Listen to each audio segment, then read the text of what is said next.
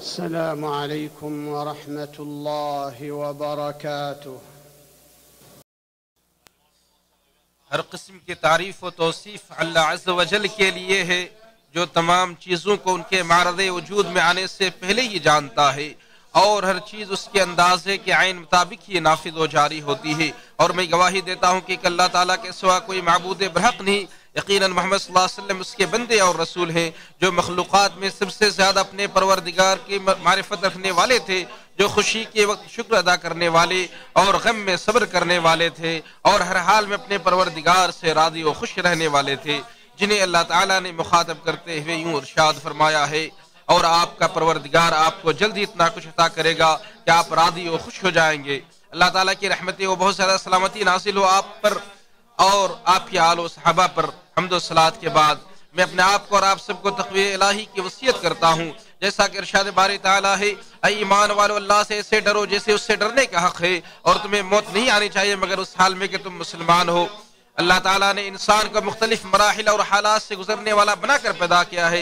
वो शोर उजदान से मुस्तरब होता है और एहसास और जज्बात से तड़पता है। वो कभी तकलीफ़ महसूस करता है तो कभी राहत और सुकून, कहीं ज़यीफ व कमज़ोर पड़ जाता है तो कहीं आजिज़ व बेबस नज़र आता है। वो कभी खौफ और डर महसूस करता है तो कभी अमन अमान। अलगर्द उससे ज़िंदगी में जख्म, तकलीफ़, जबर, जुल्म, खसारा, महरूमी, फुकदान नमत और गम अंदोह के सख्त तरीन हालात और मराहल से गुजरना पड़ता है।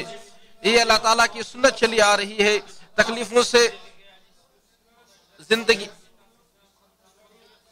अल्लाह ताला ने, यही अल्लाह ताला की सुन्नत चली आ रही है। तकलीफों से खाली ज़िंदगी की तलाश ऐसी है जैसे किसी नामुमकिन चीज़ की तलाश हो। जैसा कि इरशाद बार ताला है, हमने इंसान को सख्ती झेलने, झेलते रहने वाला पैदा किया है और अल्लाह ही नफो नुकसान का मालिक है। इंसान को हिस्सी और मानवी नफसियाती और जिसमानी किसी भी तरह की कोई तकलीफ़ पहुँचती है तो इस बात की दलील है कि दुनिया इम्तिहान गाह है। तकलीफ़ इंसान को गफलत से बेदार करती है, नियामतों की कदर सिखाती है, भटके हुए को राह रास्त पर लाती है। ये अल्लाह ताला की जानब से रहमत होती है, जिसकी हमत बसाओकात हमसे उजल होती है। न जाने कितनी लाइलाज बीमारियों ने ज़िंदगी के धारे बदल दिए हैं और कितनी तकलीफ़ ऐसी होती है, जो किसी ऐसी खामोश बीमारी की जानब तवज्जो दिलाती है, जो जिसमें शरायत कर चुकी होती है और इंसान को उसके इल्म तक नहीं होता। तकलीफ़ की कड़वाहट, आपको सेहत और तंदुरुस्त की हलावत, राहत और सुकून का जायका और आफियत और आराम की उनसीत का मज़ा सिखाती है। चुनाचे तकलीफ़ वालम एक नियामत है, जिस पर शुक्र अदा करना चाहिए, क्योंकि वो जिस कदर भी लंबी हो जाए, आखिरकार खत्म होकर रहेगी। जिस कदर भी तवालत इख्तियार कर जाए, वो बिलाखिर वो गुजर जाएगी। उसकी तपिश जिस कदर भी तेज हो जाए, वो मधिम पड़कर रहेगी। और उसके बाद खुशहाली और फरावानी खैर भलाई और क़वत गलबा का परचम लहरेगा। यूसुफ इस्लाम के भाइयों ने उनके खिलाफ साजिश की और उन्हें गहरे कुएँ में फेंक दिया। हाकिम वक्त के, की बीवी ने उन्हें वरगलाया औरत ने उनके सामने मकरो फरेब किया, उन्हें जेल और कैद खाने में जाना पड़ा। फिर वो सख्ती और तंगी के कई सालों के बाद नुसरत व मदद, इज़्ज़त व शरफ और गलबा व कुदरत उन्हें हासिल हुई। रसूलुल्लाह वसल्लम के खिलाफ साजिशकारों ने ज़िंदगी के हर मोड़ पर साजिशें की। आपकी ज़िंदगी के हर मरहले में फरेबकारों ने आपके खिलाफ चालें चली यहाँ तक कि आप वसल्लम ने फरमाया, मुझे अल्लाह की खातिर ऐसी अजियतें दी गई जो किसी और को नहीं दी गई। चुनाच उसके बाद क्या हुआ? साजिश और साजिश रचने वाले मकरो फरेब और मकरो फरेब करने वाले तारीख के कूड़ेदान में चले गए। तकलीफें खत्म हो गई और आप की दावत, रिसालत और उम्मत आज भी पूरी आबोताब और शान व शौकत के साथ कायम दायम है। जिसकी शुआएँ फैली हुई है, जिसके असरात और निशानात पूरी अजमत के साथ बाकी हैं और जिसकी जड़ें गहरी और मज़बूत है। मैं सलमान रदी अल्लाह बड़ी आज, पर बड़ी आजमाइश आई जब लोगों में से उनके सबसे अज़ीज़ और प्यारे अबू सलमान रदी अल्लाह की वफात जैसी तकलीफ़ का उन्हें सामना करना पड़ा। तो अल्लाह ताला ने लोगों में से सबसे ज़्यादा महबूब और अबू सलमान रदी अल्लाह से भी ज़्यादा अजीम शख्सियत अलैहि वसल्लम की सूरत में उन्हें न्यामल बदल अता फरमाया। चुनांचे उम्मे सलमान रदी अल्लाह आपकी सोजा और मोमिनों की माँ के रुतबे पर फायज हो गई। कुरान मजीद ने नबी वसल्लम के उन तीनों सहाबा के दर्द का तस्करा किया है, जो गजबा तबूक से पीछे रह गए थे। हत्या के ज़मीन भी कुशादा होने के बावजूद उन पर तंग पड़ गई थी। और उनके नफ्स भी हसन मल, मलाल की वजह से तंगी और घुटन महसूस कर रहे थे जिन्हें उनके सगे भाई और करीबी रिश्तेदारों ने भी छोड़ दिया था। सब उनसे दूरी इख्तियार कर चुके थे। पचास सातों तक किसी ने किसी ने उनसे कलाम नहीं किया। आखिरकार कुशादगी आन पहुँची तकलीफ़ व अलम जायल हो गई और उनकी ज़िंदगी उस सआदत के नूर से जगमगा उठी। कि अल्लाह ने उनकी तोबा कबूल फरमा ली है और कुरानी आयत में उनकी तारीफ़ व तवसीफ फरमाई है जो ताक़यामत तलावत की जाती रहेंगी। एक मुसलमान इस बात को बखूबी जानता है कि तकलीफ़ वलम के बाद उम्मीद जागती है। तकलीफ़ का आगाज़ नफाबख्श होता है और उसका अंजाम निहायत मसरूद और लायक होता है। आने वाली खैर व भलाई को इंसान तकलीफ़ के वक्त देख नहीं पाता। लेकिन तकलीफ़ की शिद्दत पर सबर करने वाले नेकियों का सैलाब मंड आता है। न जाने हमारी ज़िंदगी पर गमोदोह के कितने बादल मंडलाते हैं। फिर फजर सादिक और दिन की रोशनी नमोदार होती वो छिड़ जाते हैं और आखिरत में उसका अंजाम उसका अंजाम कार बेहतर होना हतमी है, जो हमेशा रहेगी और जिसकी नियामतें दायमी होंगी। ये हर तकलीफ़ सदा इंसान के लिए तसली का सामान और हर नुकसान उठाने वालों का सिला वो बदला है। वहाँ आसाइश का ये हाल होगा कि इंसान को जन्नत जन्नत में एक बार घुमाकर उससे पूछा जाएगा, क्या तूने कभी कोई बदहाली देखी थी? या कभी कोई शिद्दत और तंगी तेरे पास से गुजरी थी? वो अर्ज़ करेगा यार अल्लाह की कसम नहीं, ना तो कभी बदहाली मेरे पास से गुजरी और ना मैंने कभी कोई शिद्दत और तंगी देखी। मुसीबत और तकलीफ़ को बर्दाश्त करने के सिलसिले में लोग कई किस्म के होते हैं। ईमान और यकीन और अजम इरादे की मजबूती के दबार से उनमें तफावत पाया जाता है। चुनानचे बाज लोग अपना अतदाल तवाजुन खो बैठते हैं और उनके कदम डगमगाने लगते हैं। उनकी हिम्मत पस्त हो जाती है, इरादे कमज़ोर पड़ जाते हैं वह गुमान और खौफ दहशत उन पर तारी हो जाती है, वो मायूस लाचार हो जाते हैं। और बाद लोग ऐसे हैं जिन्हें उनका अकीदा वो साबित कदम रखता है। उनका ईमान और यकीन उन्हें सबर की खिलाफ फराहम करता है।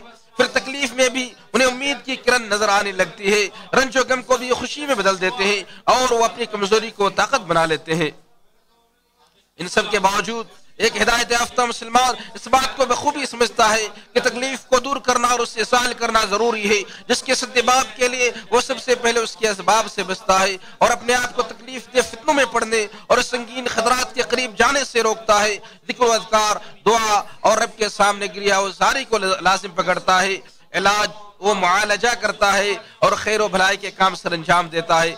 ये बात काबिल ज़िक्र है कि मुसलमान की ज़िंदगी में पसंदीदा तकलीफ़ वो है जो उसे अच्छे काम पर उभारे, उसकी अखलाक आदत को संवारे और सीरत व किरदार में निखार पैदा करे। पसंदीदा तकलीफ़ की एक मिसाल ये है कि जब अल्लाह के शायर की बेहरमती की जा रही हो और उनके तकदस को पामाल किया जा रहा हो तो अल्लाह के लिए उसके दिल में गुम गुस्से की लहर दौड़ने लगे। अल्लाह ताला का इरशाद है। हकीकत ये है कि जो अल्लाह के मुकर करदा शायर का एहतराम करे तो दिलों के परहेजगार होने की दलील है। ज़िंदा दिल उससे तकलीफ़ महसूस करता है। जब गुनाह मासीत के कामों में मुबतला होता है, ये तकलीफ़ उसे पहाड़ जैसे बोझ की मानद महसूस होती है। जैसा कि अब्दुल्ला इब्न मसऊद रज़ी अल्लाह से रवायत है कि एक मोमिन अपने गुनाहों को ऐसे देखता है, जैसे वो किसी पहाड़ के नीचे बैठा हो और उसे ये डर हो कि कहीं उस पर गिर ना जाए और काफिर अपने गुनाह को ऐसे देखता है, जैसे कोई मक्खी उसकी नाक पर बैठी हो और उसे हाथ के इशारे से हटा दे। लिहाजा उसमें कोई ऐसी हैरत की बात नहीं है कि तकलीफ़ और परेशानी उसकी ज़िंदगी में तब्दीली व इनकलाब का बायस बनी और उसकी नदामत पशेमानी और तोबा इस्तफार का ज़रिया हो।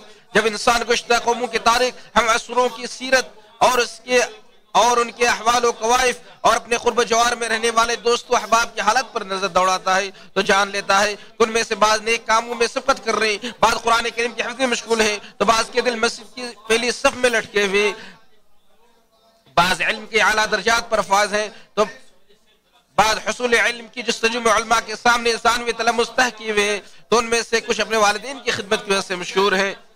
बाद अल्लाह की राह में खूब खर्च कर रहे हैं तो बाद फ़करा मसाकिन और यतीमों की खिदमत में मसरूफ है।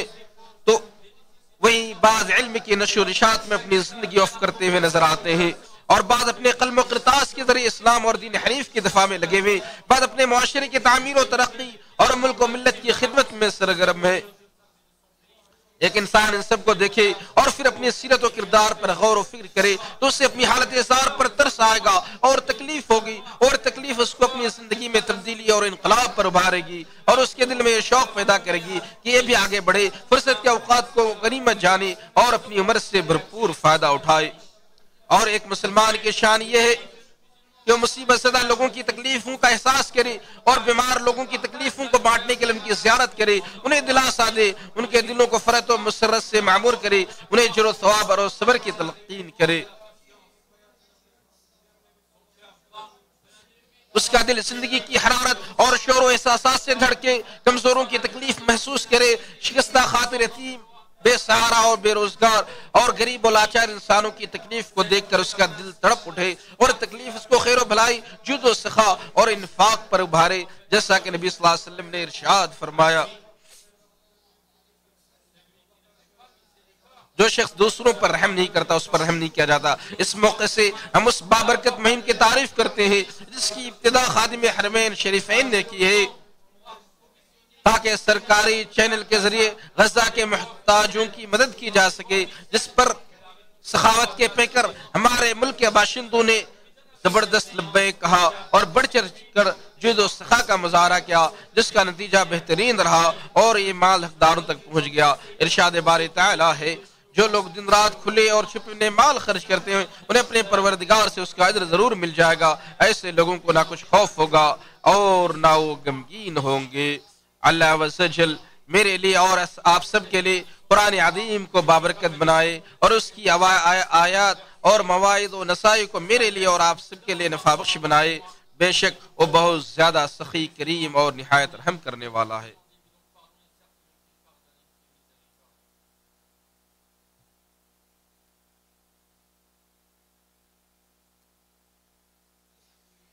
तमाम किस्म की तारीफ़ व तोसीफ़ अल्लाह वजल के लिए है।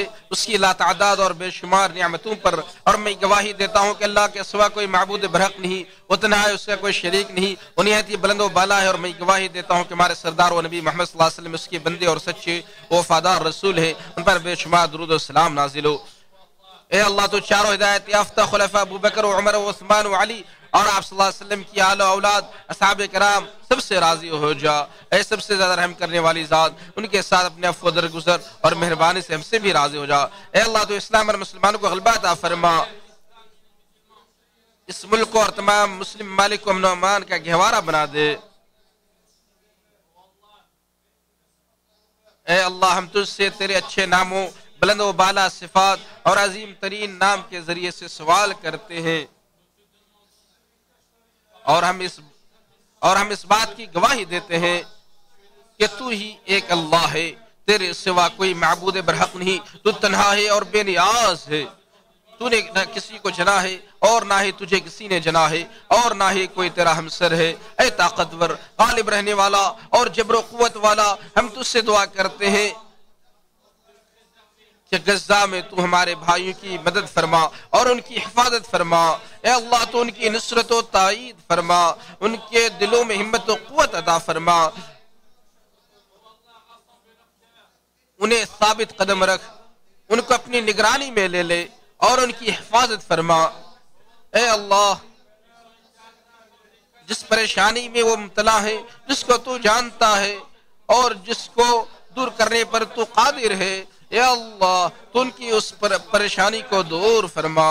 या अल्लाह, वो भूखे हैं, उन्हें तू खाना खिला। वो नंगे पाँव हैं उन्हें सहारा दे। नंगे बदन है, उन्हें कपड़ा नसीब फरमा। वो मजलूम है तो उनके लिए इंतकाम ले। वो मजलूम है तो उनके लिए इंतकाम ले। अल्लाह तो फलस्तीन में गासिब सहीनियों को अपनी पकड़ में ले ले।